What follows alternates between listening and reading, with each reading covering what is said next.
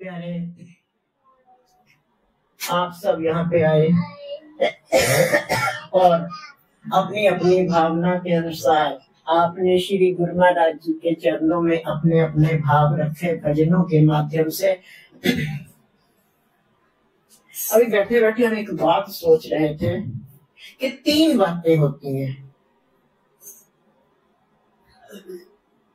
हर्ज, गर्ज और फ़र्ज़। कौन कौन सी? हर्ज गर्ज और फ़र्ज़। इन तीनों में क्या डिफरेंस है?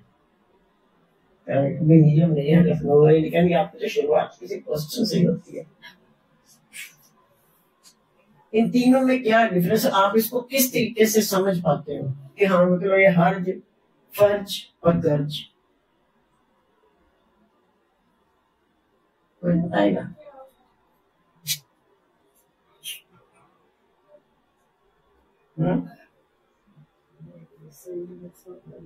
है। हर्ज हम कई बार ऐसे होता है, आज सत्संग में चलते हैं। अरे कोई बात नहीं, आज नहीं जाएँगे तो क्या हर्ज है? और तो बहुत लोग गए हैं ना, कोई हर्ज नहीं है। अरे तुम्हारा तो समय बेकार हुआ। हर्ज कैसे नहीं हर्ज तो बहुत सारा तो हम समझ नहीं पाए ना। एक बात याद आई, एक गाँव में बहुत बाढ़ सी आ रही थी, बहुत ज़्यादा। तो सब लोगों को ये टेंशन थी कि ये रुकेगा कैसे? तो गाँव के बाहर एक भोलेनाथ का बड़ा मंदिर था। तो पंडित जी ने एक बात कही कि अगर कोई हर रोज मतलब कम से कम नहीं सौ बंदे, ज़्यादा नहीं तो इस शिवलिंग पर दो दिन के अंदर अंदर सौ बंदे एक भर के लोटा दूध का चढ़ा दें और उसके बाद एक लोटा पतीले में डाल दे, उसकी खीर बनेगी। शिवलिंग पे भी चढ़ाना और पतीले में भी डालना, पतीला रख दिया गया। तो जब उसके खीर बना के बांटी जाएगी तो ये सारा पानी गायब हो जाएगा। पंडित जी ने अपनी फिलोसफी बताई। अब पूरे नगर में ढंडोरा फेर दिया गया जो भी है, आए और ये शिवलिंग पे दूध चढ़ाए और एक लोटा उसमें चढ़ाए। उसमें डाल दे पतीले में उसकी खीर बनेगी। हम्म। अब वहाँ गाँव के जितने भी लोग थे सब आपस में एक विचार करने लगे। अरे, प्रिंसी तो डाल ही आएगी। मैं नहीं भी डालूँगी तो क्या हुआ? मैं पानी डाल आती हूँ। प्रिंसी ने तो डाल ही दिया होगा। पूछा नहीं उससे? सोनिया ने सोचा मनु ने तो डाल ही दिया। कोई बात नहीं, मैंने ना डाला तो क्या हो गया? एक गिलास पानी का डाला आएँगे। दो दिन के बाद भोलेनाथ पे भी पानी पड़ा था और पतीला भी पानी से भरा पड़ा था दूध किसी ने भी नहीं डाला।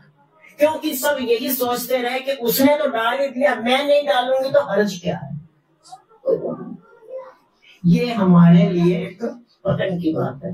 हम दूसरों पे आश्रित क्यों हो जाते हैं? जो हमने काम करना है, वो करेंगे। हम दूसरों पे सोच लेंगे इसने तो कर ही दिया, हम नहीं भी करेंगे तो क्या हर्ज है? नहीं, हमें अपना काम सब करना, जो हमारी ड्यूटी है उसको खुद करना चाहिए।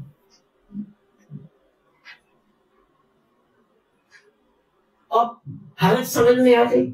आया मुझे समझाना। उसके बाद आता है गर्ज। गर्ज का क्या मतलब?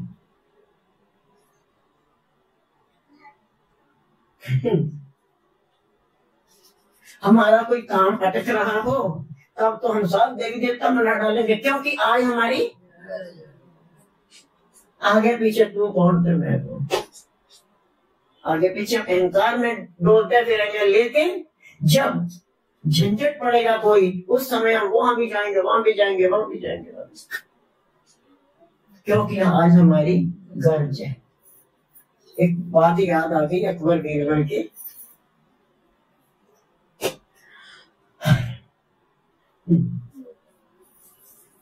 बीरबल से उसके जो बाकी के दरबारी थे, बहुत जेलसी करते थे। है ना? तो करते थे तो करते थे। एक दिन की बात है, वो जो बाकी के दरबारी थे, उन लोगों को मौका लगा और उन्होंने मिलके जो है, उसको अकबर के सब नहीं तो सब दरबारियों ने मिलके अकबर के सामने एक बात रखी, क्योंकि बीरबल तो था नहीं ना। बोले, महाराज इनकी आप बहुत ज़्यादा तारीफ़ करते रहते हो।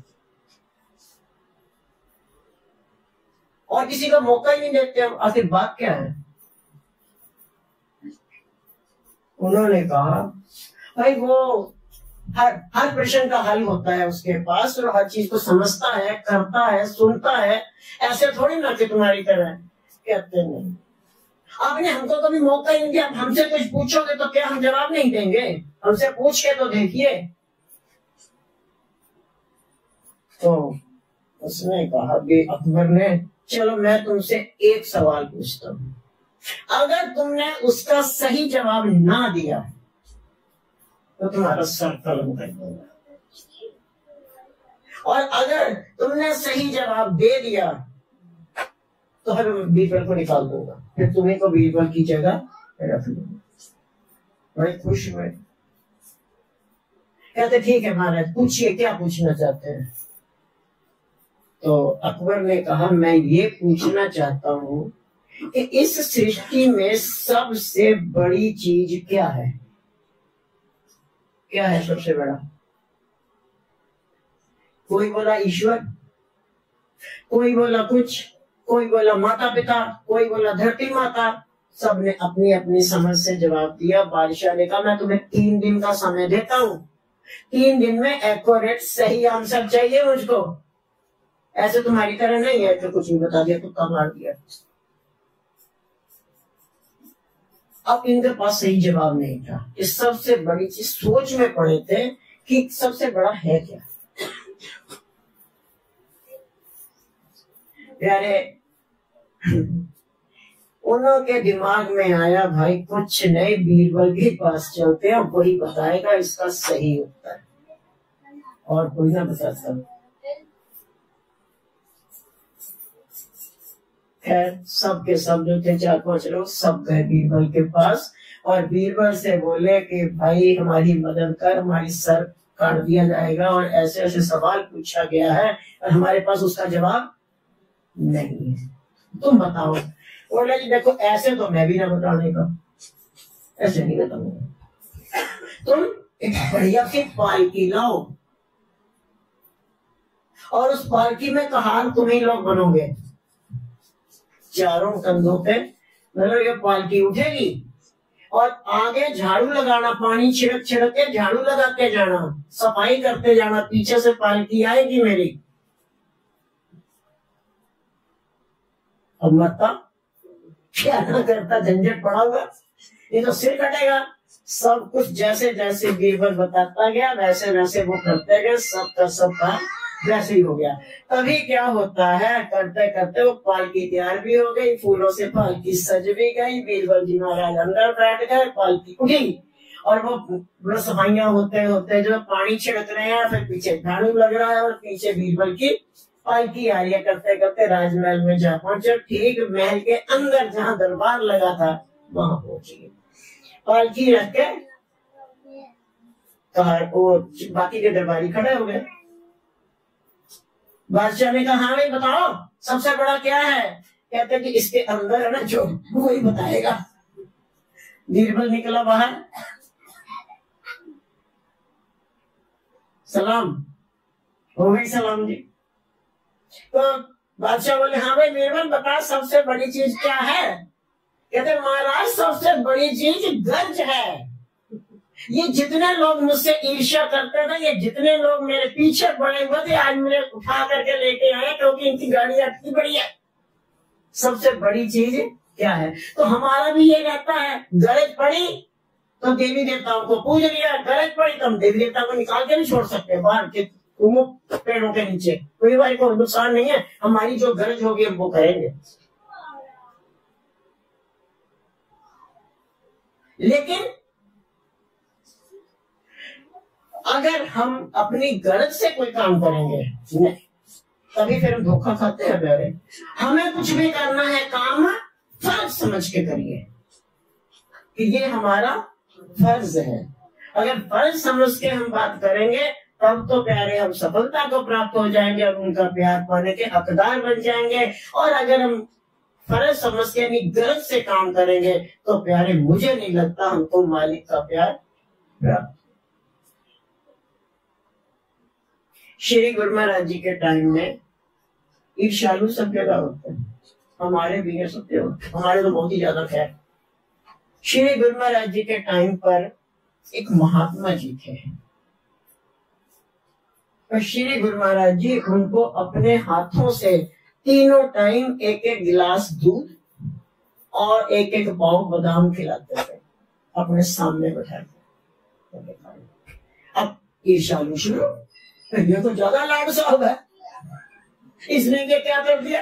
ये ये क्या बात है हमको तो गुरु ने अपने हाथ से कभी प्रसाद नहीं दिया है और वो कभी कुछ नहीं, हमारा हाल भी पूछा। इसको बड़ा जो है वो करते चले जा रहे हैं। ये क्या बात है? ये समझ नहीं आ रही बात कुछ।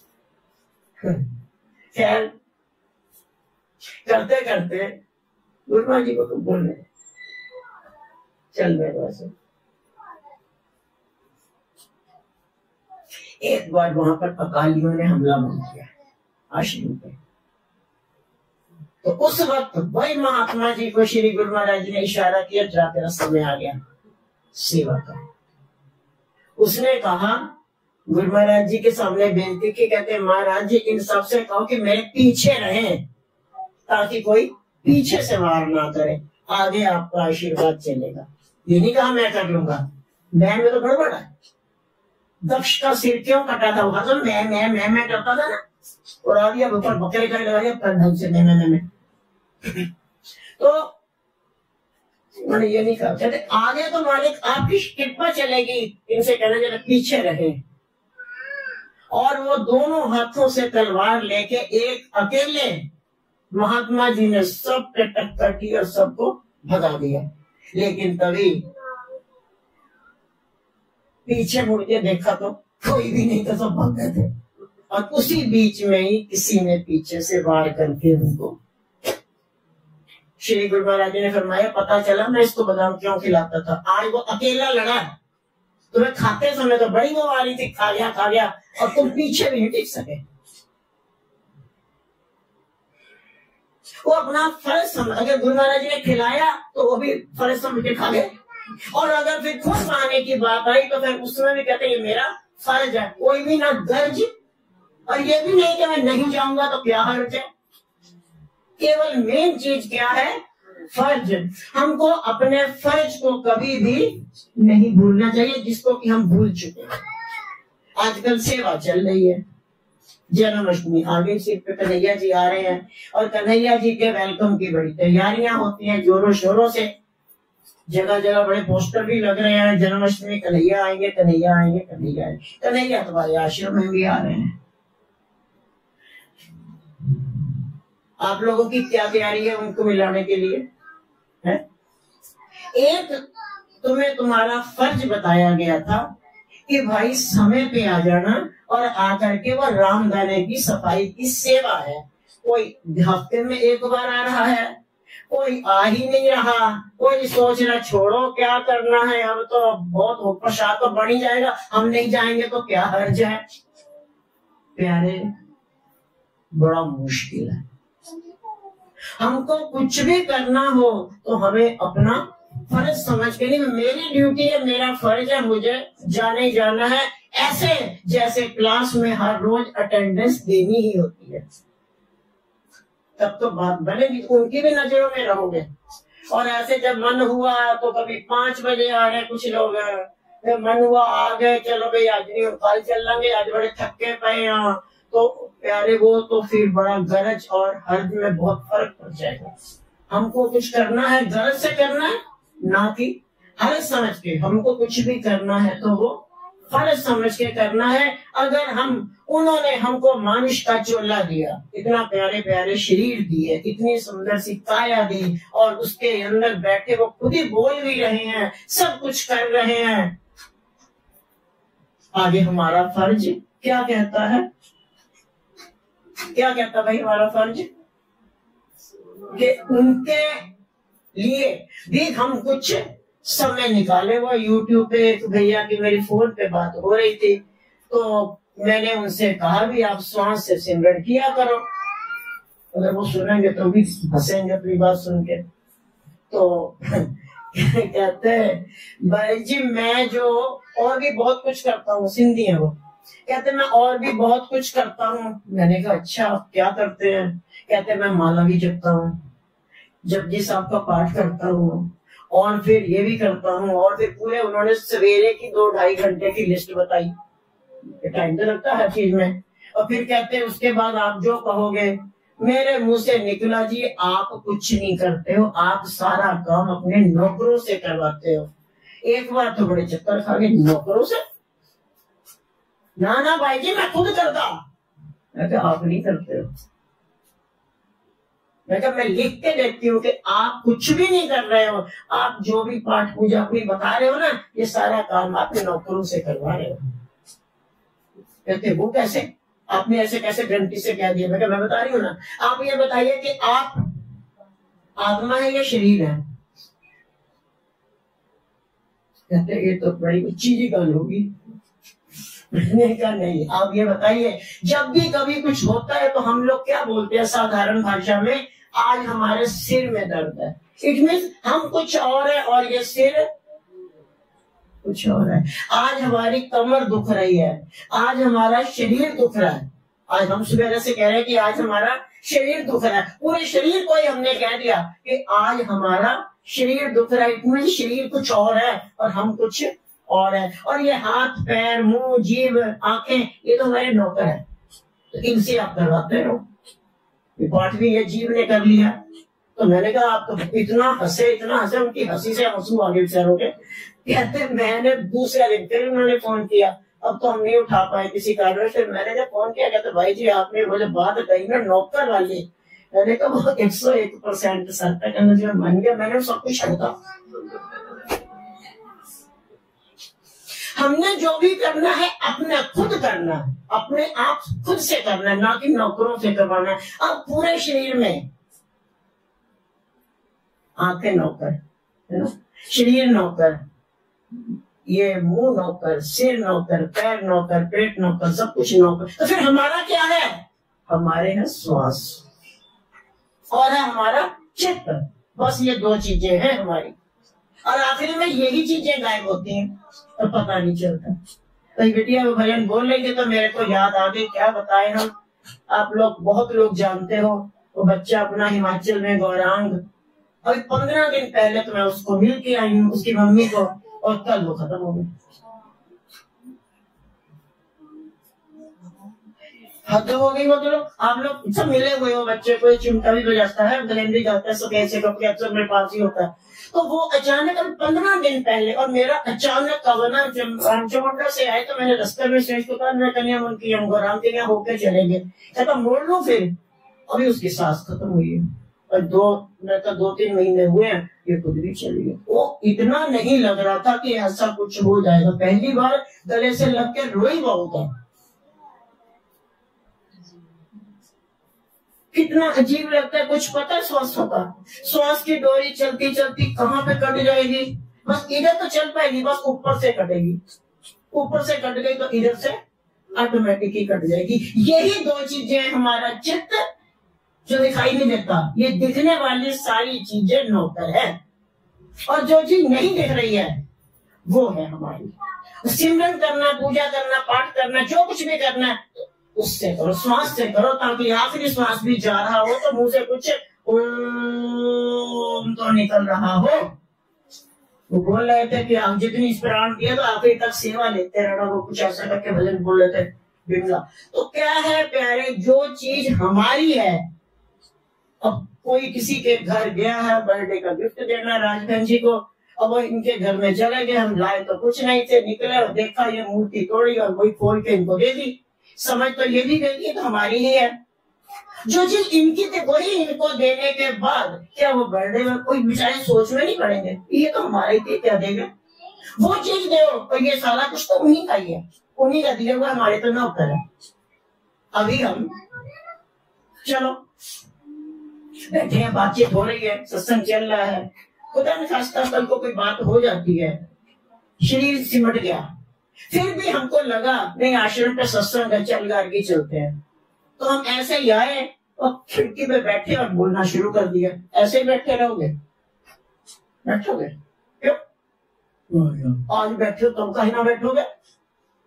क्योंकि उस समय मेरा रथ नहीं होगा। हम सूक्ष्म हो चुके होंगे और तुम सारे के सारे स्थूल में हो और स्थूल और सूक्ष्म का मेल हो ही नहीं। सकता यही कारण है कि ये सारे सूक्ष्म में है और हम लोग स्थूल में हैं। यही कारण है कि महापुरुष कहते हैं कि बिना गुरु के मैं नहीं मिलता। मेरी माँ जानते ही हो फिर भी? सरदार होने के नाते हो भैया, कितने जपजी साहब और सुखमनी साहब, पूरा ग्रंथ साहब, मुझे भी मम्मी ने पढ़ना सिखाया और तीन बार गुरुमा जी की शरणी भी लगे अमृतसर पढ़ाया। ताया जी के उसमें अपना ही गुरुद्वारा था। करते करते करते करते करते करते भैया सब लोगों ने सारी सारी रात बैठ के वो भैया शुरू पता नहीं पढ़ती रही है, राम राम राम राम लिख रही है, वाहगुरु वाहगुरु लिख रही है।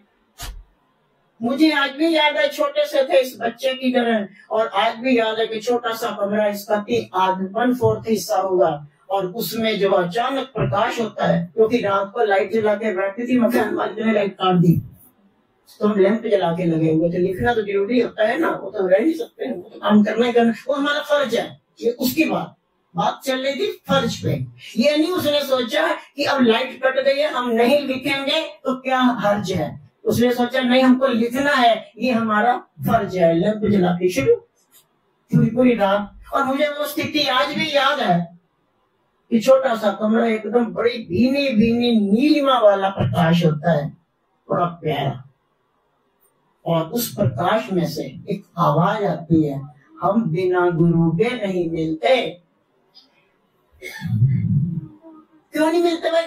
कारण यही है कि मैं सूक्ष्म हूँ और तुम स्थूल हो। स्थूल को स्थूल ही संभालेगा। स्थूल को सूक्ष्म नहीं संभाल सकता। अब स्थूल की बात आ गई है और मेरी माँ तो इसी पागल हुई। हाय हाय, मैं नानक के समय क्यों ना हुई? आज का तो ठाकुर घूम रहे। हैं हाय, गुरु गोविंद सिंह जी के समय हो जाती तो भी ठीक थी, आज का तो सब ऐसे ही घूम रहे हैं। ओहो, और रोती जाए रोती जाए तभी बीच में एक अचानक फिर से आवाज़ आती है। कमरे में दिखाई नहीं कोई भी कौन बोल रहा। उस नीलिमा वाले भीने से प्रकाश के अंदर उसी में एक आवाज़ जैसे पहले आई थी, वही दोबारा प्रकाश आता है और आवाज़ आती है। गुरमुख आज से, गुरमुख बोला, आज से आठ दिन के बाद तुम्हें दर्शन देंगे और उसके आठ दिन के और आज से आठ दिन के बाद तुम्हें नाम देंगे और उसके आठ दिन के बाद तुमको दर्शन देंगे। इतने में सारा काम खत्म हो गया। और हम तो ऐसे जो है चक्कर में उड़े हुए थे क्योंकि मम्मी एक घुड़की मार के सोती नहीं है। तो ऐसे ऐसे करके बैठे हुए थे उसको दिखाई भी ना दे। उसके बाद सारा खत्म हो गया, हम रेडी है अनंतपुर, कुटिया में भाई जी के यहाँ मम्मी का आना जाना, मम्मी ये नहीं जानती है कि अनंतपुर नगरी क्या है। वो सफ़ेद साड़ी भाई जी को मिली हुई थी और सफ़ेद सूट बहन जी का मम्मी ये सोचे थी कि ब्रह्म कुमारी है। हाँ उनको सत्संग अच्छा लगता था। तो हर सोमवार के सोमवार मम्मी ने सत्संग पे चले जाना। तो जैसे ही वहाँ पर गई तो उस दिन, वही सोमवार का दिन, आज आठवा दिन है। और माँ मेरी सत्संग के बाद भाई वैसे बैठी चलने को थी। के पास अब इतने बड़े बच्चा होता है ये बच्ची बैठे हुए लगा हुआ है। तो इतने बड़े बच्चे को क्या करोगे? ही जाएँगे, पापा तो बेचारे टूर पे रहते थे छुट्टियों पे जब आएँगे, तब आएँगे। तभी लोगों ने कहना शुरू कर दिया तो सरदार जी रहते नहीं सरदार नहीं पागल हो गई। ये भी तकमा मिल चुका था। और प्यारे, अब जो है बाई जी ने पकड़ा, मम्मी को बोले, लाज कौर, नाम ले कहती बाई जी असी सरदार। अही नाम वाले चक्कर च ना पहनते अपना नाम अपने कोल रखो। भैया, बड़ी बहस की मम्मी ने। उसके बाद में जो है, भाई जी ने लास्ट में इतनी बात कही, कहते कि देख, आज तक तुमको हमने कभी नहीं कहा, कब से तुम आ रहे हो? पर आज अगर कह रहे हैं तो हो सकता है कोई हमें भी प्रेशर दे रहा हो। तो तू नाम ले ले। अगर तेरी समझ में ना आए तो तू छोड़ दियो। कहती, पक्का? छोड़ सकती हूँ? भाई जी बोले हाँ छोड़ उसके बाद माता मेरी को नाम मिला। और जो ना क्योंकि ये जो फ़र्ज़ समझ के वो करती रही, ना हर्ज, ना बर्ज। जो फ़र्ज़ समझ के वो करती जा रही थी नित्य नियम वगैरह, उसका रिज़ल्ट ये हुआ कि अंदर की खेती टोटल तैयार थी। बस भाई जी ने नाम का बीज बोया, डाला और माता जो बैठी है, पूरी रात बैठी रही। भाई जी बार बार मेरे को एक किनारे घसीटने की ये खाना दे बच्चे तो बच्चे ठहरे। कमर बहन जी से बोले, इसका ध्यान रखना, कि बार बार हिलाना दे उसको। और पूरी रात बैठी रही, दूसरा पूरा दिन बैठी रही, और दूसरी भी पूरी रात एक चौपड़ी पर बैठी रही। सोचो। तीसरे दिन उसकी दस ग्यारह बजे के करीब आँख खुली तो भाई जी से कहती, आप तो भगवान है। भाई जी बोले, हम भगवान ना तुम्हें भगवान के पास ही ले चलेंगे। और ये बात तब की है, अनंतपुर वाले चौथी पाशाही उस समय नए नए बैठे थे, तीसरी पाशाही समाज चुके थे। चलो भाई। और इतफाकन पापा आ गए दो दिन की छुट्टी पे। तो मम्मी उनको कुटिया में ले गई तो भाई जी ने पापा से कहा, भगत जी बैसाखी का त्योहार है, हम सब नंदरी का अनंतपुर जा रहे हैं। अगर आप बहुत इस भक्तियाणी को ले जाए पापा उस समय आठ दस रुपए की टिकट थी लखनऊ से अनंतपुर की। अशोक, वहाँ पे बीना जाते थे, बीना से बदलते थे, रात रुकना होता था, कुछ ऐसा पंगा था। दस रुपए की टिकट थी, पापा ने ऐसे दो सौ रुपये पकड़ाए, बोले, जो आप मर्ज़ी कर लेना, ले जाओ। और इसको करो, दो दिन के बाद पापा चलेंगे और वही आठ दिन के बाद इनाम मिला और आठ दिन के बाद जो है, दर्शन हो गए। और मम्मी कहती है कि मेरे को तो लगा वो जो चौथी पातशाही बैठे हुए थे। ऐसे था जैसे गुरु नानक देव जी बैठे पाला मरकाना पड़े उसके बीच में ये बात सिद्ध करने के लिए कि गुरुमुख की कीमत क्या है। एक बार ध्यान पे बैठी थी तो उसे अचानक से आवाज़ आती है, गुरुमुख, आज गुरुद्वारे चले जाना। वहाँ पर तीन दिन से एक फकीर भूखा बैठा, उसको घर ले जाना, खाना खिलाना, वो केवल मूँगी की दाल खाता है, खुश्क फुल्का खाता और साथ में थोड़ा दूध दे देना। और वहाँ नहीं चलेगा भाई। तो मम्मी ने सोचा, ये क्या है? उसको ये होता था कि ये सच है कि झूठ है? तो उस बात को समझने के लिए मम्मी चली गई गुरुद्वारे और वहाँ जाकर के, ऐसा नहीं कि वहाँ पर पूछ नहीं रहा था, बड़ी भीड़ लगी थी उनके पास। उन्होंने सब लोगों ने पूछा, कहा, महाराज, हमारे यहाँ लंगर छकी है। तो उनका एक सवाल था गुरुमुख तेरा गुरु कौन है? तो वो कहते थे, हमारा गुरु दरबार साहब। कहते, मैं निगुरे के हाथ की रोटी ना खाऊँगा तीन दिन से वो भूखे प्यासे रहे, लेकिन उन्होंने जो है, किसी की भी रोटी स्वीकार नहीं की। और तीसरे दिन जब वो प्रेरणा होने के बाद मुझे पहुँचे हैं तो ये वहाँ जाकर के जो इसने उनसे कहा, चलो, महात्मा जी, घर पे लंगर छक लो। उन्होंने कहा तेरे गुरु कौन है? तू बड़ी चौड़ी होके आई है। या मेरे गुरु अनंतपुर वाले? गुरु महाराज जी की चौकट बाद में मिली। उस वक्त तक अनंतपुर वाली। इससे वो फकीर ने हाथ ऊँचे किए और आँखें भर के बोला, वाह परमात्मा, आज तीन दिन के बाद तुमने मेरी खबर यहाँ पे ना तो मम्मी का कोई गरज था और ना कोई उनका हर्ज था था तो क्या केवल फ़र्ज़। और वो फ़र्ज़ समझ के अपना काम करती चली जा रही थी और यही कारण रहा कि इतनी जो है, अड़तालीस घंटे की अखंड समाधि पे बैठती है। हमसे तो अड़तालीस मिनट ना बैठा जा सकता तो प्यारे, ज़्यादा नहीं कहेंगे, तुम्हारा टाइम भी हो चला है। हमको अपना जो भी कुछ करना हो, अगर कोई सेवा मिले, पापा ने मेरे को ये जब मिला था ना मुझे उसी दिन पापा मिले थे। और मेरे से ऐसे ही बोले, अपने ही टोन में जैसे कभी बोलते थे। कहते, ऐ जो तू पा लिया ना, ये आग है आग। ये जो तुम, ये तुमने जो पा लिया है, ये जो तुमने पहन लिया है, ये आग है। समझ लेना, आज से पत्ता पत्ता तेरा वैरी हो जाएगा। तो वो बात इतनी सत्य है कि हम बता नहीं सकते। कहते, पर फिर भी एक बात का ध्यान रखना, आगे ही बढ़ते चले जाना, पीछे मुड़ के मत देखना। और अगर तेरे मन में भी किसी बात पे शंका आ गई तो हमारे इन गुरुजनों की और हमारी जो इंसल्ट होगी तो मैं अगर शरीर में भी हूँ तो हूँ नहीं और मैं फिर भी रो करूँगा। दुखी मत करना और इन लोगों की इज़्ज़त पे दाग मत आने देना। हमारे सिखी धर्म में सेवा का महत्व और गुरु का महत्व क्या है ये बात हमेशा याद रखिए वही कारण है, आज तक उन्हीं के आशीर्वाद से चलते चले जा रहे हैं। काफ़ी आंधिया तूफ़ान खूब आते हैं, आने तो चलता रहता है। तो प्यारे, उनके भरोसे, उन्हीं के सहारे। ना मेरी कोई दर्ज है और ना मेरे पास कोई हर्ज है। और हम अगर कुछ भी करेंगे तो केवल मेरा फ़र्ज़ जो है, वो हम करेंगे। और इसके अलावा मेरे पास और कुछ भी नहीं है। सेवा पापा का कहना था, कहते कि अगर तुम्हें सेवा करने में लैट्रिन साफ़ करने की सेवा मिले पापा के शब्द है। तो एक बार लैट्रिन को प्रणाम कर लियो कि ये सतगुरु की बख्शी हुई सेवा। प्रणाम करना, उसके बाद सेवा करना।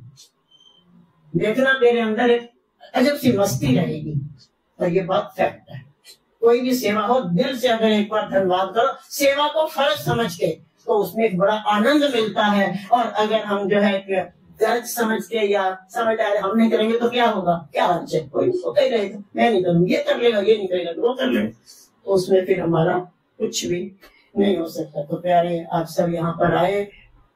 श्री गुरु महाराज जी ने आप सबकी पावन आरती और हाजिरी लगवाई और अपना प्यार बख्शा।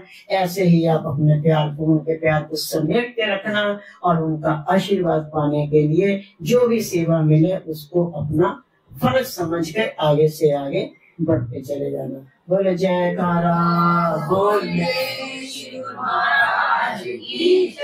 बोल सच्चे दरबार श्री नंदी निवासी भगवान परमहंस ज्ञान जी महाराज बांके बिहारी लाल की अलबेली सरकार की घट घट वासी भगवान।